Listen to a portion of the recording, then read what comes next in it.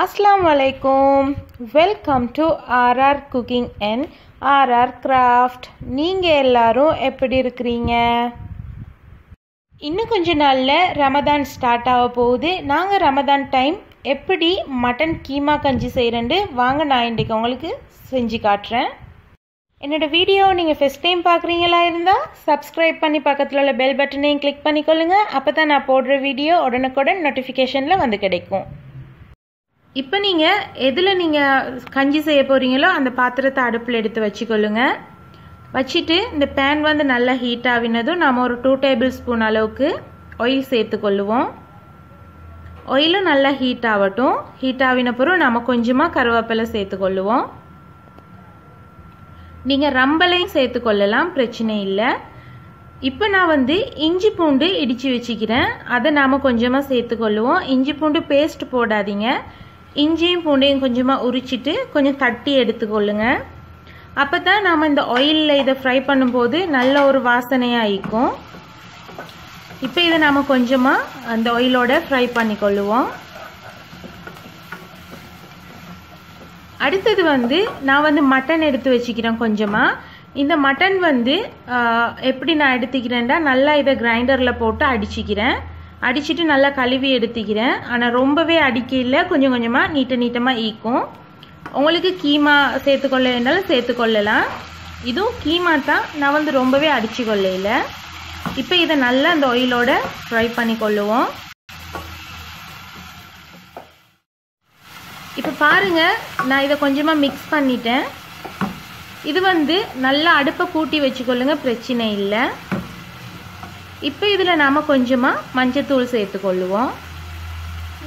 கொஞ்சமாக கலருக்காக வேண்டி இந்த மட்டன் ஸ்மெல் ஓவர் அதுக்காக வேண்டி நம்ம இதை சேர்த்துக்கொள்ளுவோம். நீங்கள் வந்து சிக்கன் பீஃப் எதில் வேணாலும் செஞ்சு கொள்ளலாம் நீங்கள் வந்து வெஜிடபிள்ஸ்லேயும் நீங்கள் இந்த கஞ்சி செஞ்சு கொள்ளலாம் இப்போ பாருங்கள் இதை எப்படி வேறு வேறையாக பிரிஞ்சிட்டுதுண்டு.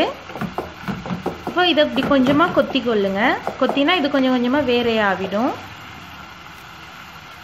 இப்போ நாம் இதில் கலருக்கும் காரத்துக்கும் கொஞ்சமாக மிளகாய்த்தூள் சேர்த்துக்கொள்ளுவோம்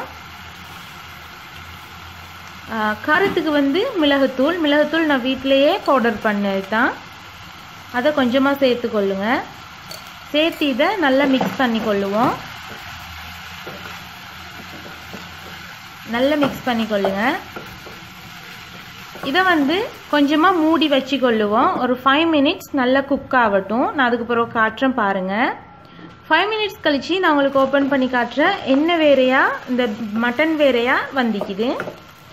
இப்போ நாம் இதில் கொஞ்சமாக அரிசி சேர்த்து கொள்ள போகிறோம் நீங்கள் எந்த அரிசி வேண்டாலும் சேர்த்து கொள்ளலாம் பிரியாணி ரைஸ் வேண்டாலும் சேர்த்து கொள்ளலாம் பிரியாணி ரைஸாக இருந்தால் அதை வந்து நீங்கள் கொஞ்சமாக ஒரு ஃபைவ் மினிட்ஸ் டென் மினிட்ஸ் ஊற வச்சுட்டு நீங்கள் சேர்த்துக்கொள்ளுங்க.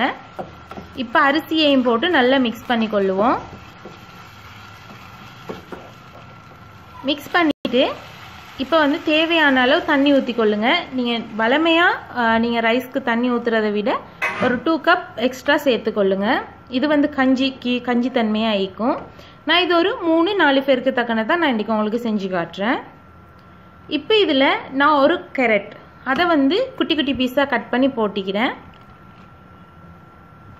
நீங்களும் இதில் வந்து வெஜிடபிள்ஸும் சேர்த்து இந்த கீமா இதோட போடலாம் பிரச்சனை இல்லை. இப்போ இதை நாம் வந்து கொஞ்சமாக உப்பு சேர்த்து உப்பு சேர்த்துக்கொள்ளுங்க. தேவையான அளவு உப்பு சேர்த்து இனி மூடி வச்சுக்கொள்ளுவோம். இது நல்லா ரெடி ஆகுறது தான் இப்போ ஒரு டென் மினிட்ஸில் நான் உங்களுக்கு ஓப்பன் பண்ணி காட்டுறேன். இது ரெடி ஆகிட்டுது ஒரு எழுபத்தஞ்சி வீதம் ரெடி ஆகிட்டுது தண்ணி நீங்கள் அகைன் ஊற்ற தேவையில்லை. இந்த தண்ணி போதும். இப்போ நாம் இதில் கொஞ்சமாக கெட்டியான தேங்காய் பால் சேர்த்துக்கொள்ளுவோம் தேங்காய் பால் சேர்த்து இது ஒரு இன்னொரு டென் மினிட்ஸ் நல்லா கொதிக்க விட்டோமாக்க நமக்கு கஞ்சி ரெடி ஆகிடும். நீங்கள் இதில் வந்து புதினா கொத்தமல்லி அதெல்லாம் சேர்த்து கொள்ளலாம்.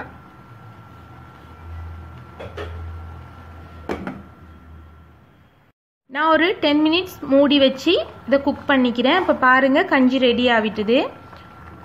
இந்த மாதிரி தண்ணி தன்மையாக இருந்தால் தான் நல்லா இது இன்னும் கொஞ்சமாக ஆறின புறவும் கொஞ்சம் இறுகிடும் அதனால் இந்த மாதிரி இருந்தால் ஓகே இவ்வளோ தான் ஃப்ரெண்ட்ஸ் இந்த ஈஸியாக நாம் இந்த நோன்பு கஞ்சி செஞ்சிடலாம்.